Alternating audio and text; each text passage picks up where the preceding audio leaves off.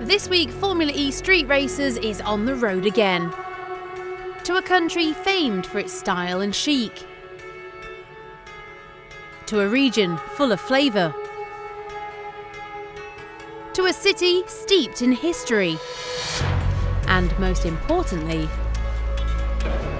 to one of the most impressive trade shows in Europe. Hello from Bologna in the Emilia-Romagna part of northern Italy. We're here to check out the latest electric cars on display here at the city's motor show. And of course, we'll be sharing with you the best this showcase event has to offer. We'll also be bringing you lots more from the world of Formula E. Yet you'd really struggle to park that one, wouldn't you? Coming up, a man on a mission to a Faraday future primed in the paddock with DS Virgin, and going through the gears to make history in Greenland. Here at the Bologna Motor Show, there are hundreds of cars on display, including some of the newest EVs. And that's the hot topic of this year's event transferring the science of an FE car from the track to the road.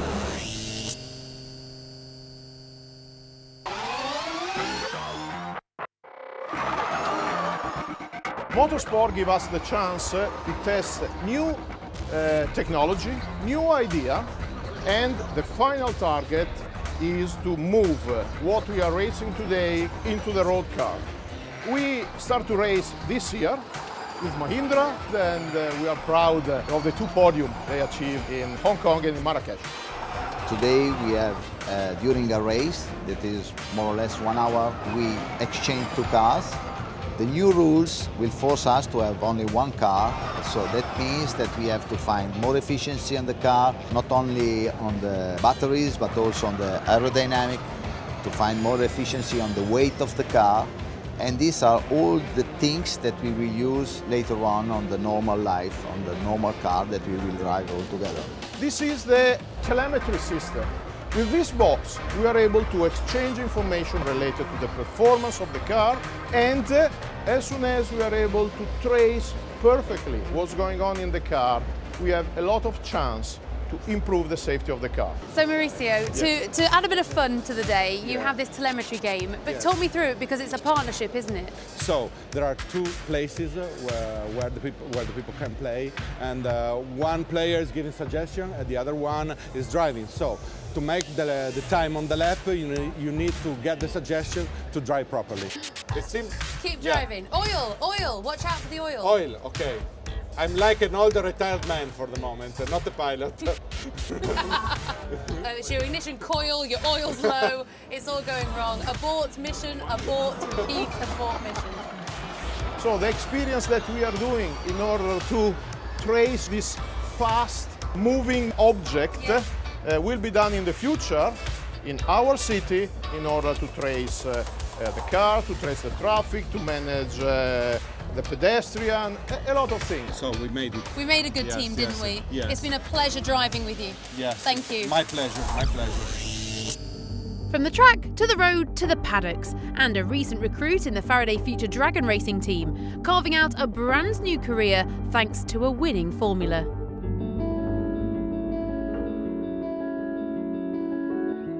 I've always wanted to do something out of the ordinary, which is why I joined the military in the first place.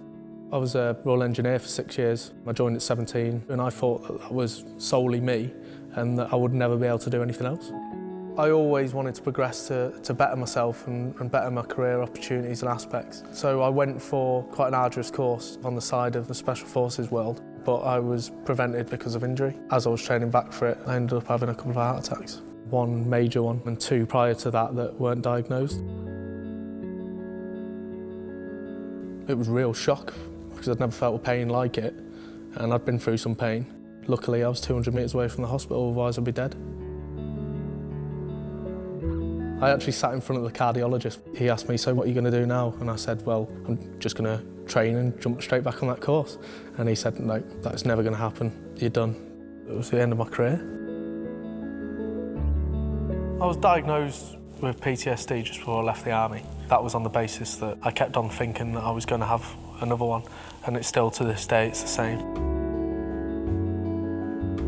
I was admin discharged under medical grounds. It was devastating. A lot of guys join the army to do their four years and that's it. For me, it was my life. My dad was in, my granddad was in, my twin brother's in. I had no intention of leaving. I didn't really know what to do. I was too proud to go back and, and sponge off my mum. I was sleeping in my car, I'd lost my girlfriend, my job, my lifestyle. I was at the lowest of the low.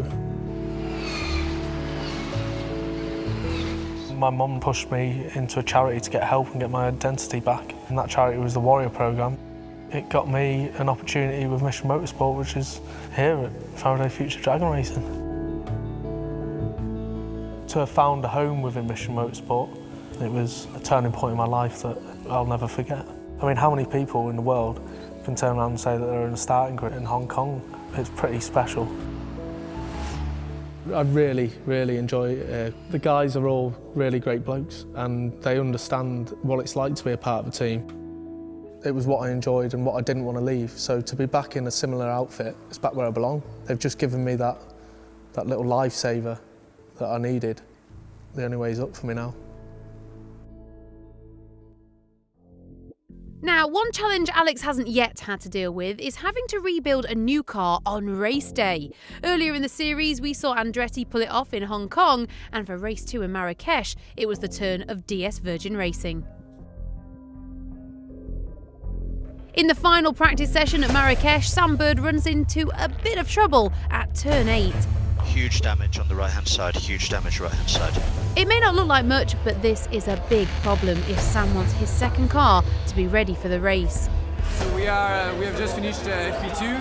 Um, sadly, uh, Sam has put a wheel in the dirty part of the track, so he may lose the car, and uh, and he's done quite a fair bit of damage to the car. A quick assessment reveals the whole front end has to be replaced. The engineers spring to action. It shows how tricky this circuit is. Uh, it's really, really dirty. Uh, and when I'm practicing for fastest lap to uh, prepare for qualifying, it's really, really easy to do mistake. The team now has just three hours for a full suspension rebuild.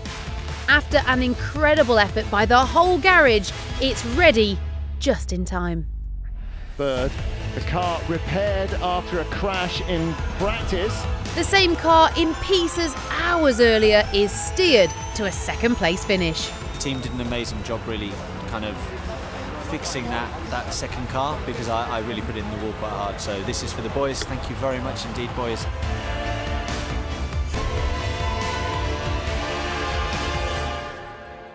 While there's a timeout to get everything fine-tuned before the next ePrix in Buenos Aires, I'm not taking any chances. I'm making sure I get plenty of practice in, you know, just in case they ever need a backup driver. But what happens to the cars between the races? Well, to find out, we took a trip to Spain. Come on. Yes, Street Racers has touched down in the Catalan capital to visit the famous Circuit de Barcelona, where just around the corner is the European testing garage for India's Mahindra racing team. And after he sorted himself out, their chief engineer is ready to bring us up to speed. Better or worse? Where's the bathroom? That'll do.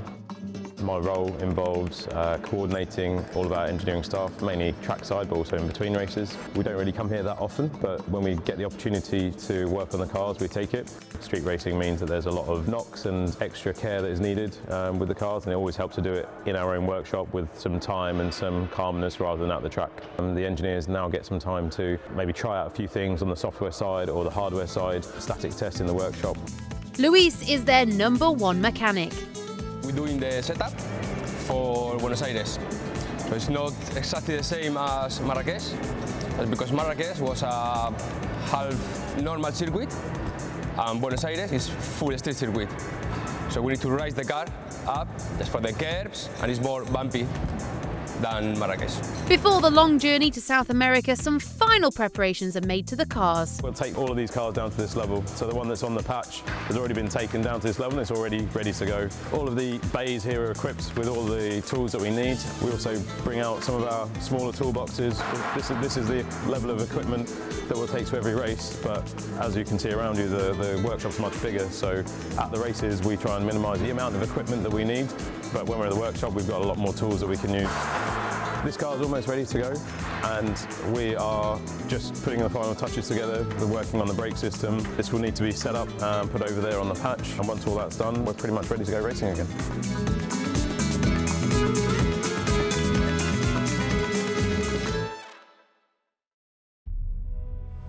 Now, it might be a bit chilly in Bologna, but nothing like the Arctic conditions Formula E encountered when it attempted to take a racing car to the Arctic to highlight the problem of climate change. Last week, we left the team in Greenland staring at failure when they discovered their chosen surface had melted and broken into three. That meant there was just one more iceberg to try, but local expert Nico is not happy. This is Jeremy This I don't like it uh, so much. Three main fractured lines right here. Okay, let's go back to Kulusuk, please. Need to make some decisions. The iceberg dream is dead. They've no chance of getting a car safely onto the iceberg now. A lot of effort has gone into this project and tensions are strained. Iceberg broke yesterday. I was aware of that beforehand, but yes, I'm now aware of that. So we have yeah, I a understand, plan. I understand we and we can nature. I don't have a problem adapt with to that. We have two hours whilst he's flying to see what we can do. The issue is that the guys that were working on the iceberg yesterday, some of them are not happy to, to go back and work on, on another iceberg because they think it's a challenge uh, and, and, there's a, and, and, there's a risk. So that's their own uh, that's their own decision. But we've come all this far. The car's here. You know, we've got the infrastructure. You know, uh, to walk away now would be, you know, would, would be a, a real shame. Formula E CEO Alejandro Agag will arrive shortly, expecting to see his car in action. A last gasp solution is proposed. It might be possible to drive the car on the Greenland ice cap itself. Ice, but on solid ground. Nico and Tim, pilot, uh, glaciologist, they both think it's uh, it's feasible, but we want to go up there and see for ourselves and whether the car can actually run, you know, on the second biggest ice cap in the world. It's flat enough. We don't need to do anything to this. What do you reckon? Hey, Carlos is happy on Alejandro and driver Lucas di Grassi make it to Tulasuk. There has been a change of plan, and they're going with it. For me, the most important is really to drive the car on the ice cap. So we take the car to the ice cap. What I really want to show is the effect of global warming on the ice cap and the acceleration of melting. It's the big day. Alejandro, Lucas, and the team arrive on the ice cap. Now it's just left for the car to be transported the 60 kilometre journey across the coastline to Isotuk.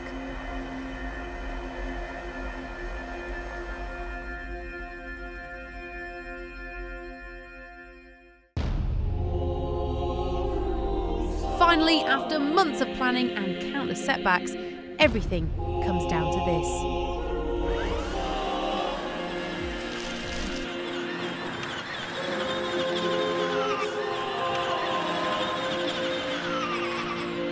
Just an amazing experience. I never thought on my wildest dreams that I could be able to drive a race car on the ice cap. If people see a car racing on the ice cap, and when they see, they remember the problem of climate change, of global warming, that will be a great result. Week, Street Racers has come to the Bologna Motor Show in Italy, the home of some of the world's most famous car manufacturers, from Ferrari to Maserati and, of course, Lamborghini. But what about a brand that you may not have heard of that's paving the way in the electric revolution? It feels like a new brand, but you've been around for years. Yeah, since uh, 1963, so 53 years of history. We are very well known for aluminum foundry. So we are supplier and designer for frame parts, you know, for Ducati, MV Agusta, Audi, Ferrari, Lamborghini, many, many brands. This is not our main business, but we do care and we develop technology since 2006 for electric vehicles. We are the only Italian brand that manufactures and design electric cars. The very mission is to present and inspire young people to go green. So your cars, they're a bit unusual. Tell me a bit about this one here. It's called Tazzari Zero EM2 Space. and you can personalize it for the uh, exterior. We have more than 8,000 three color combinations. And you have what we call these quadricycles, which are more of a, a sort of a moped design? It's like having a motorcycle but with four wheels. Uh, Zero Junior actually goes up to 45 kilometers per hour and it has a maximum range of 125 kilometers. But this is for the slightly older driver? Yes, from 16 year old. In Italy, you can actually go inside the center of the city with this type of car. And it goes a bit faster, this one? Yes, this goes up to 90 kilometers per hour. Now, I love this little car here, the Microlino. What can you tell me about it? Okay, this is a new project. We are partner with this Swiss company, which is called Micro. The design of this car is inspired by an old uh, uh, Italian model. Yes. And but but our project will be full electric. And tell me about Tazzari's aim for the future. So at the moment we are designing the race car. The name will be uh, Super Zero Imola and uh, we are going to test it on the Dino Ferrari racetrack. So who knows, we could be seeing you as a team in Formula E soon. Yeah, why not, why not? Well, there we have it, Tazzari, remember the name.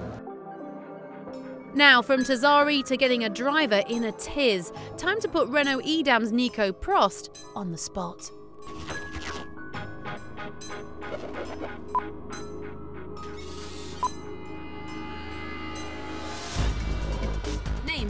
Nico, age, 35, team, uh, Renault Dams. favourite animal, Not a big animal fan. I don't want any animals at home. Lion maybe. childhood ambition, to be a professional sportsman, I don't know, any sport. and what's your adult ambition? Uh, to win Formula E. Your sporting hero, uh, sporting hero, probably Alberto Tomba, the skier. toughest opponent, Huh. Uh, Seb, favourite country, uh, home, Switzerland. worst habit, My worst habit? Um, I don't think I have a really bad habit. teammate's worst habit, yeah, he's banging on the table when he's not happy. your favourite movie, Top Gun. best moment in Formula E, Um, probably the first win in Miami. favourite singer or group, Uh, Nirvana, greatest moment in life, uh, probably the birth of my child. Broken any bones, A lot. Leg twice, knee. I can't even count so many uh, like ribs, wrist, arm, shoulder, face. so, a lot.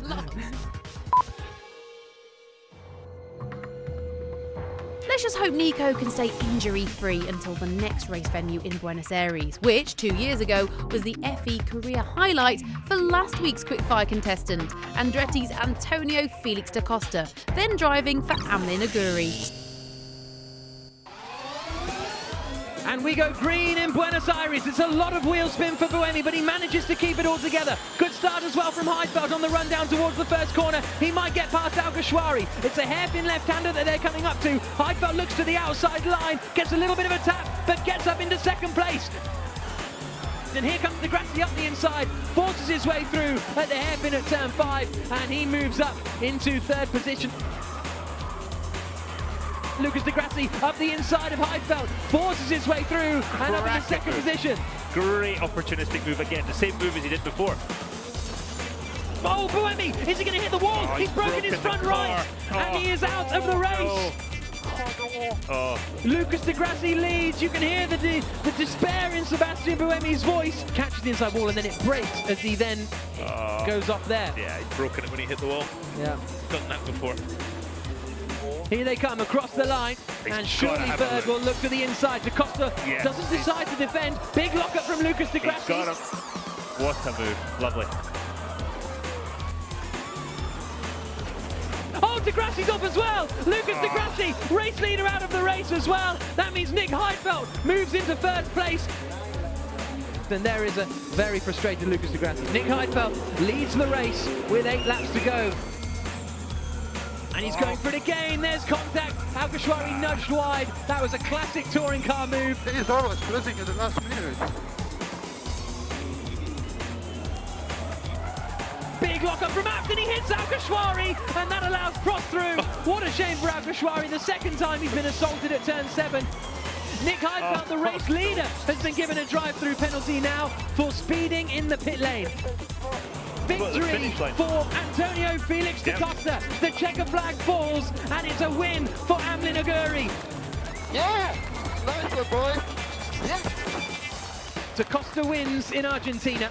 And FE returns to that same circuit for the next race of the EV calendar. But before that, January sees the Visa Vegas e-race, the climax to a major event which has seen fans from around the world compete for the chance to take on the real FE drivers.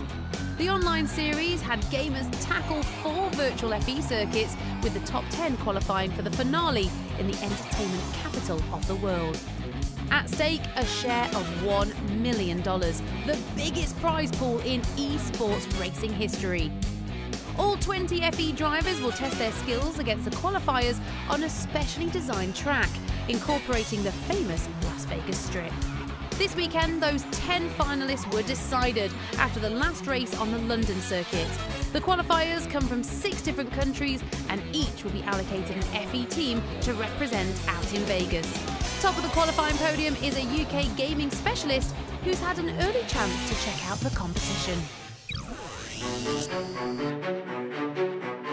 So we're here in Marrakesh. I'm about to get my first ever shot on a Formula E car. So I'm Graham Carroll, 26 year old from Edinburgh in Scotland, uh, and I'm a competitor in the, the Visa Vegas e-race. It's the first of its kind, it's a million dollars up for grabs. Um, there's been nothing like it in the, in the past, so I'm treating it like a job in a way. It's just all about competition and wanting to finish first, you know, just like real life racing. Basically, uh, my career, my race, my real racing career kind of ended in 2008. I uh, won five championships in one year, the British Championship in Formula Ford, and you know, you thought you were going places then, but the credit crunch happened and we just couldn't find 150 grand to go racing.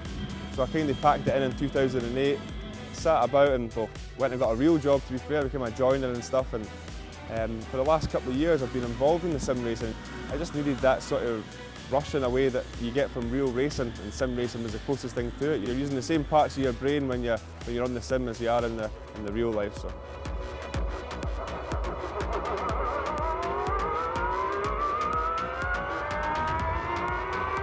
Aye, so I got to meet Nelson Piquet Jr. and Jerome D'Ambrosio. So again, just giving me wee tips, tips on the track, tips what to expect from the, ah, the braking and the, the downforce and all that kind of stuff. So it's, um, it'll really make the difference, I think.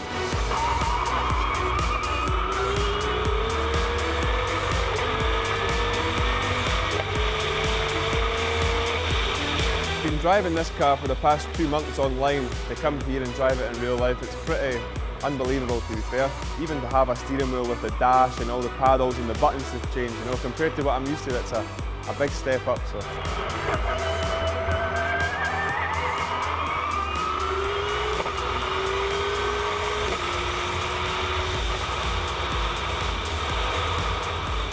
It's a dream come true, you know, from, from the last two months sitting behind PC screens to actually being here and actually driving. It's the same livery and everything on the car, you know, that I drive. So got a couple of laps out there and yeah, just different class, you know. It was very strange not hearing a, an engine in the back. It's just um, taking it out in real life and after being sitting on the simulator for, for two months, it's this is a prize in its own, you know, it really is, you know.